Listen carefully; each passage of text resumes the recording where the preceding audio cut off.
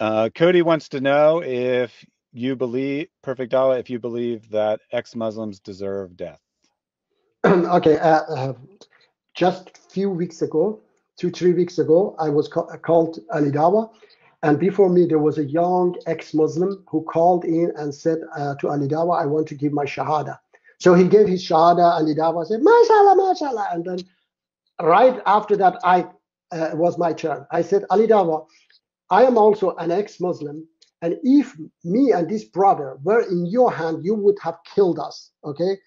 So no, definitely, I don't believe in that stupid uh, command of uh, you know Bukhari, who wrote himself, and Ali Dawah and such people are proud of it. And Ali Dawah realized that his stupid belief. That's why he removed me right away because I said, if me and this brother, he said, "Mashallah, do you see so good?" You know, I said he would have been killed if uh, was in your hand, and I would have been because I am myself a former apostate.